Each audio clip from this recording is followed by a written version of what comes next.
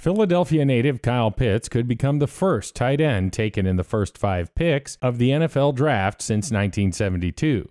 Pitts played at Archbishop Wood Catholic High School in Warminster. He told NFL Network earlier this month it would be special to get drafted by his hometown team and play at the Linc.